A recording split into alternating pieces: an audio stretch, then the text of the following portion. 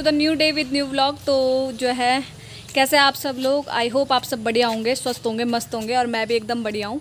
तो जो है, काफ़ी टाइम से कल एक, आज एक ड्रीम पूरा होने वाला है मेरा क्योंकि जो मेरी फ्रेंड है प्रियंका, उसको कल रात को एक टेक्स्ट आया।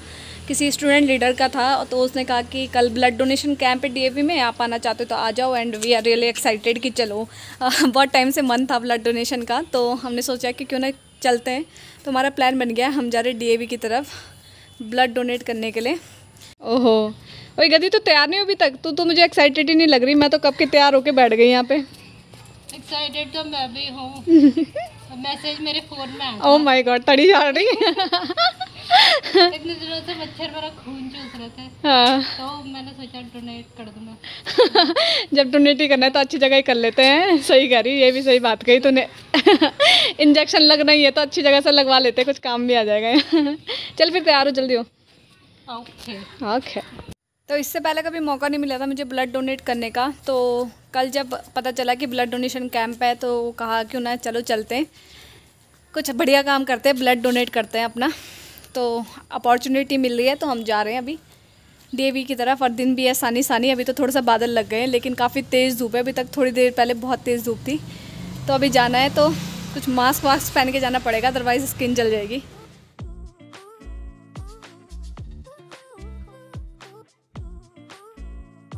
So after our walk, we'll go there to donate our blood for the first time. So मेरा भी फ़र्स्ट टाइम है क्या? मेरा भी फ़र्स्ट टाइम है मेरा भी फ़र्स्ट टाइम है। तो चलो आज हम पहली बार कोई पुण्य का काम करने जा रहे हैं। ब्लड डोनेट करके आते इंजेक्शन से डर लगता है।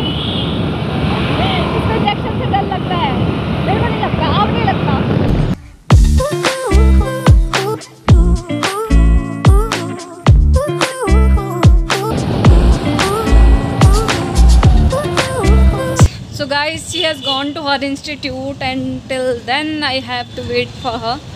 So एक घंटे तक टाइम पास करना है। देखते हैं कैसे करती हूँ।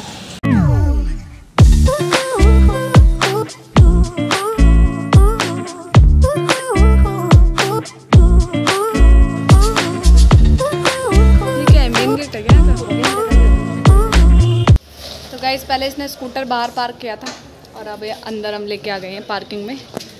डीएवी की पार्किंग में अब हम अंदर लेके आ गए तो पहले इसने बाहर पार्क करा था but due to insecurity she has park here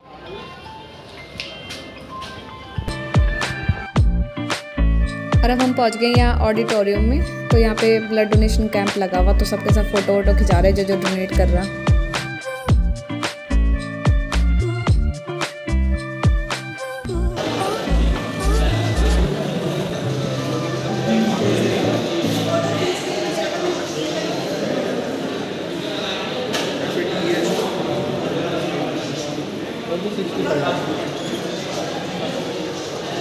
खराब है खराब है।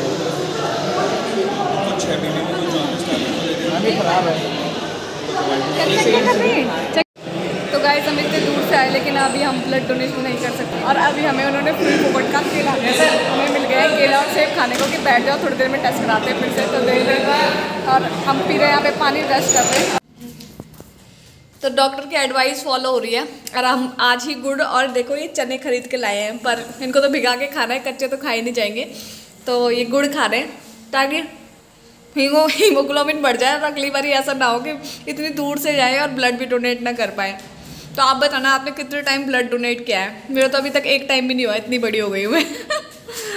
ओके मिलते हैं नेक्स्ट ब्लॉग में। टाटा सी यू तो गाइज़ एक ट्रेजिडी हो गई है। हम ब्लड डोनेट नहीं कर पाए, इतनी दूर से आए तो थे, लेकिन डोनेट नहीं कर पाए।